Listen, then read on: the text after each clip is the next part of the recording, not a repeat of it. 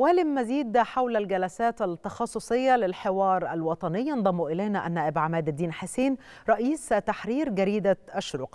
أستاذ عماد بعد التحية إلى أي مدى ستثري الجلسات التخصصية المغلقة مناقشات الحوار الوطني؟ السلام عليكم ورحمة الله وبركاته. هي بطبيعة الحال المؤكد أنها ستسري جلسات الحوار الوطني وهي عملية ضرورية. بمعنى أن الجلسات العامة كانت مفتوحة للجميع كل الحاضرين حتى لو زاد عددهم عن 40 أو 50 شخص إضافة للموجودين في القاعة كان من حقهم أن يطلبوا الكلمة ويتحدثوا وبالتالي كانت الجلسات العامة بمثابة يعني تعبير حق للجميع للتعبير عن رأيه سواء كانت أحزاب أو شخصيات عامة أو قوى سياسية أو قوى مجتمعية. بعد فترة بعد. بعد هذا النقاش العام رؤية يعني في مجلس امناء الحوار الوطني نحن بحاجه إلى جلسات تخصصية بين عدد أقل من المتخصصين الذين يمثلون كل الاراء للجلوس معا والنقاش بشكل أكثر تفصيلية وأكثر تخصصا للوصول إلى التوصيات المتوافق عليها لأنه على سبيل المثال إحنا هذا الأسبوع هناك جلسة متعلقة بالقوانين الانتخابية. في الجلسة العامة الجميع كل كل شخص أو كل قوة أو كل حزب بيطرح وجهة النظر المقتنع بها سواء اعطاء أولوية للقائمة المطلقة أو الفرديه أو النسبيه. في الجلسات التخصصية يفترض أن يجلس أصحاب الآراء المختلفة للوصول إلى توافق قدر الإمكان. وهنا تبرز أهمية هذه الجلسات التخصصية لأن هي مهمتها الأساسية هي صياغة توافقات ترفع للمجلس الأمناء ومجلس الأمناء بدور يرفعها إلى السيد الرئيس عبد الفتاح السيسي.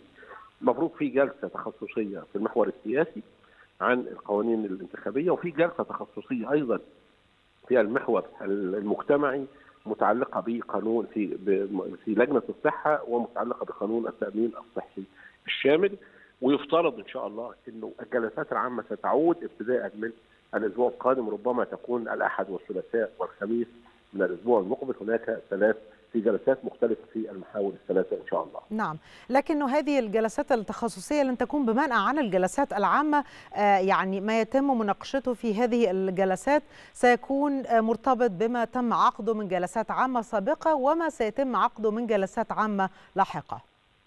بطبيعة الحال يا فندم يعني هقول لحضرتك هناك جلسات كان فيها توافق عام بمعنى إنه قضية مثلا زي قضية مكافحة التمييز. لا يوجد خلاف بين كل القوى السياسية والأحزاب المختلفة حول مناهضه التمييز.